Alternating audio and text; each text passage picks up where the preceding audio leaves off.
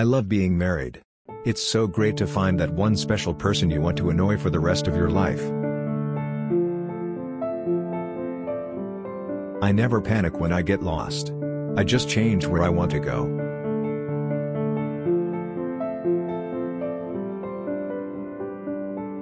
Some people think having large breasts makes a woman stupid. Actually, it's quite the opposite, a woman having large breasts makes men stupid. If your husband has difficulty getting to sleep, the words we need to talk about our relationship may help.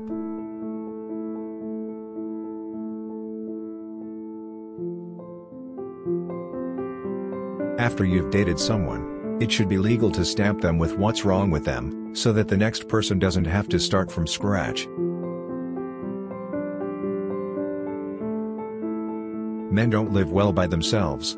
They don't even live like people. They live like bears with furniture.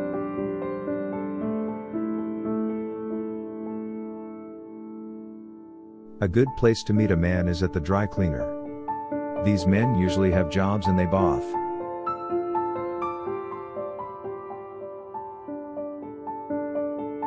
When I meet a man I ask myself, is this the man I want my children to spend their weekends with?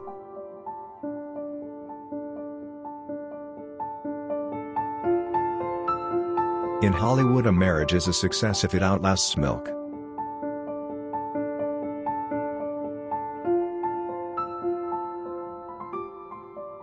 Men who have a pierced ear, are better prepared for marriage, they've experienced pain and bought jewelry.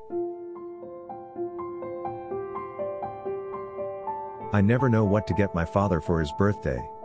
I gave him a hundred dollars and said, buy yourself something that will make your life easier. So he went out and bought a present for my mother.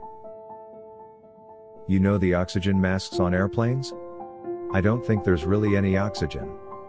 I think they're just to muffle the screams.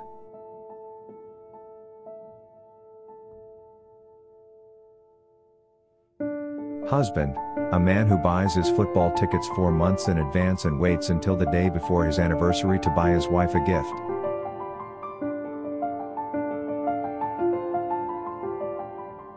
When I eventually met Mr. Right, I had no idea that his first name was always.